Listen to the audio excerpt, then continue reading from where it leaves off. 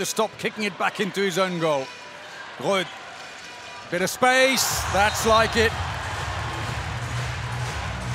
Bullet of a shot and rather. It's not getting any better, I'm afraid. 122 kilometers an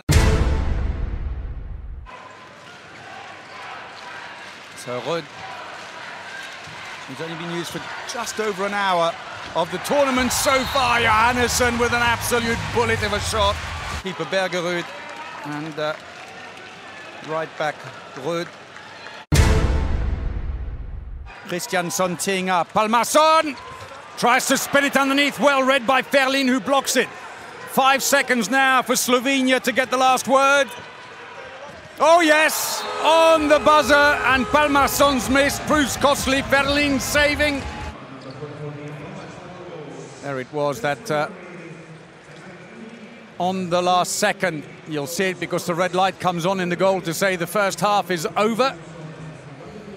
And Iceland pay the price for shooting maybe just a little too early. Palmarsson, it was a decent chance. 5-4 they go up, 10 minutes played and still the host nation can't quite pull away. Oh, had no idea where that went, Quintana.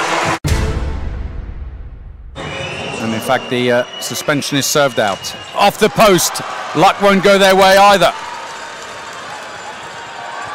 Well, he only had one thought on his mind. Goran Johannessen, who's had a brilliant game so far, four goals now.